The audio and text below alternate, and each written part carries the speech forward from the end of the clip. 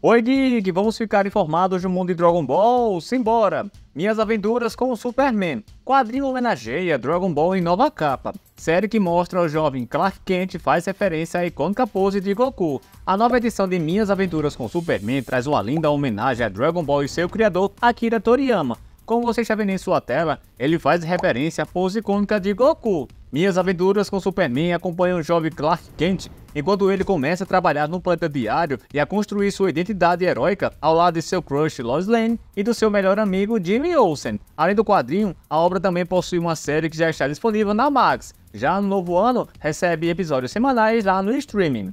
E Goku aparece em visual inédito de Dragon Ball Diamond. Uma nova imagem do anime Dragon Ball Diamond foi revelado recentemente, mostrando o novo visual do jovem Goku. Dragon Ball Diamond estreia no último trimestre desse ano e terá exibição internacional pela Crunchyroll. O anime será lançado em celebração ao 40 aniversário do mangá original de Akira Toriyama. A produção foi um dos últimos trabalhos de Toriyama antes de sua morte. O mangaka faleceu no dia 1 de março, aos 68 anos. Ele colaborou na criação da história original e também no design de personagens e também de mecha. E Dragon Ball Sparking Zero pode incluir o Super Saiyajin 4. O dublador de Goku na versão em inglês, o Sean Schimmel, indicou que gravou diálogos como Super Saiyajin 4 para o novo jogo Dragon Ball Sparking Zero. E durante o painel no anime Riverside 2024, Shimel falou sobre como não sabia que a decisão mudar sutilmente após para cada transformação iria tornar o seu trabalho mais difícil e citou a forma apresentada em Dragon Ball GT como um dos exemplos. Embora a pergunta não tenha sido bastante específica sobre o jogo, a declaração do dublador foi suficiente para provocar a especulação de vários fãs do mundo todo. E Dragon Ball Sparking Zero terá cenas em primeira pessoa. O produtor Jun Furatani fala sobre os momentos imersivos dentro do jogo. Dragon Ball Sparking Zero contará com experiência altamente imersiva para os fãs. Jun Furutani, produtor do game, prometeu que algumas cenas terão uma visão em primeira pessoa para os jogadores se sentirem na pele dos icônicos personagens de Akira Toriyama. No início da saga de Dragon Ball Z, por exemplo, quando Raditz vem para a Terra, Piccolo e Goku lutam juntos para resgatar o sequestrado Gohan. Em determinado momento, o protagonista segura seu irmão pelas costas e pede para o Nameku Seijin acertá-los com a habilidade Makaku Sapo. No anime, isso rolou de alguma forma bastante curiosa, e em Dragon Ball Sparking Zero, de maneira opcional, a perspectiva dos jogadores ao passarem pela cena acima será descrita da ótica de Goku. Isso mesmo, como se eles estivessem presenciando tudo pelos olhos do Saiyajin. E em entrevista ao Games Radar+, Furutani explicou o seguinte, Durante algumas cenas, você poderá alternar para a câmera em primeira pessoa. Nós realmente queremos que as pessoas mergulhem no personagem que estão interpretando, vejam a cena de maneiras diferentes. Por exemplo, talvez você tenha visto quando foi atingido pelo macaco sabola do Piccolo para Raditz,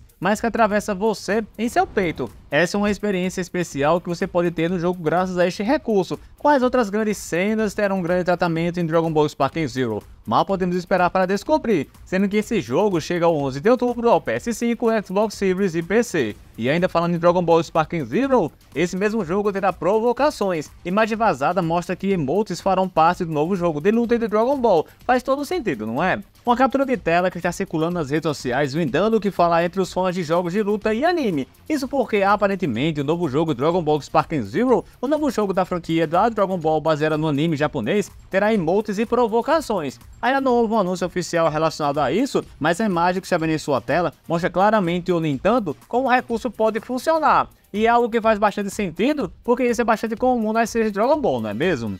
E um vídeo compara Dragon Ball Sparking Zero ao Budokai Tenkaichi. Veja semelhanças e diferenças das habilidades de Ultimate de Sparking Zero e o jogo que o inspirou. Quem jogou Dragon Ball Z Budokai Tenkaichi muito provavelmente está bastante animado para esse novo jogo chamado Dragon Ball Sparking Zero. E um desses fãs resolveu fazer uma comparação entre as habilidades e ultimates lá dos dois jogos. O canal PBL Gaming, lá no YouTube, fez um vídeo que está aparecendo em sua tela cerca de 10 minutos com algumas cenas de ambos os títulos. Nele nós podemos ver os gameplays de Goku, Vegeta, Gohan, Piccolo, Yandia, Kuririn, Mr. Satan, Android 18 e Gogeta. O resultado é bastante interessante como você está vendo aí em sua tela.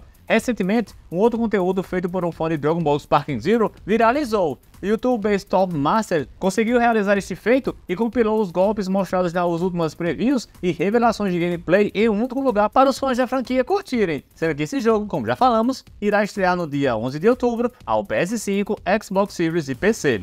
E Gohan aparece nessa ilustração que mostra o como o viajante do tempo de Dragon Ball. Se houver alguma que poderia ser o intérprete de Cable, personagem da Marvel, em Dragon Ball, esse seria Gohan.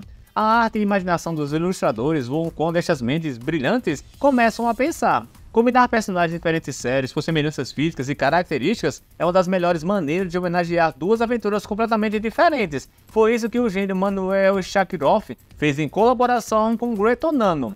Eles combinaram dois personagens muito conhecidos em Dragon Ball e na Marvel, que em breve poderão se unir ao universo cinematográfico da Marvel. Estes dois ilustradores criaram uma versão de Gohan lá do futuro com a roupa de Cable, que é um dos antagonistas e às vezes herói das histórias e quadrinhos da Marvel Comics. A combinação é incrivelmente acertada, pois em ambos os casos, os personagens vivem em um futuro desolador governado pelo apocalipse. No caso de Cable, que é filho de Ciclope com Madeline Prior, que finge ser Jean Grey, o personagem desenvolve um dispositivo para viajar no tempo e mudar algumas coisas complicadas de seu passado. Já o jovem Gohan se junta com Trunks do futuro apocalíptico dos androides número 17 e número 18 da Patrulha Vermelha. Embora ele não seja quem viaja para o passado, isso é feito por Trunks, ele poderia ter sido responsável por essa viagem no tempo, o que teria causado um impacto brutal nos outros guerreiros Z. Criamos este Cable Gohan do futuro seguindo a linha de colaborações anteriores de crossover que tivemos entre X-Men e Dragon Ball. Isso surgiu após alguns eventos engraçados e ao mesmo tempo que machucaram nossos corações de macho alfa, sendo que os envolvidos entenderão. Esperamos que vocês gostem tanto quanto nós, disseram os dois ilustradores em uma postagem conjunta que mostra o trabalho final, como você já vê aí em sua tela. O desenho de Akira Toriyama revela a forma ineta de um dos maiores e mais cruéis vilões de Dragon Ball. O vilão teria uma quarta forma que jamais foi publicada. Em Dragon Ball Z, o vilão Cell é conhecido, entre outras coisas, por suas transformações que o tornaram o lutador cada vez mais forte. Um esboço mostra que Akira Toriyama originalmente tinha uma quarta forma em mente, Dragon Ball Z apresenta alguns vilões mais icônicos da história dos animes. A maioria deles, como Freeza ou Majin Buu, tem múltiplas formas icônicas que os tornam inimigos cada vez mais fortes, e isso inclui Cell, que originalmente deveria receber uma quarta forma, além de suas outras três formas do próprio Akira Toriyama. E esta aparência da quarta forma nunca foi lançada lá de Cell, e a Sueisha, a editora que publicou Dragon Ball Z, compartilhou esboços de Akira Toriyama para ele. Esta é a aparência da quarta forma de Cell, como está conferindo em sua tela. Essa quarta transformação parece uma mistura entre a segunda e terceira formas. Neste ponto, gostaríamos de lembrar as formas anteriores de céu. Como esta quarta forma contém elementos do céu semi-perfeito e do céu perfeito, não podemos dizer com certeza se ela foi concebida de uma forma intermediária das duas, ou se talvez teria sido mais forte que a versão perfeita do vilão. E por que, que essa forma nunca apareceu no mangá?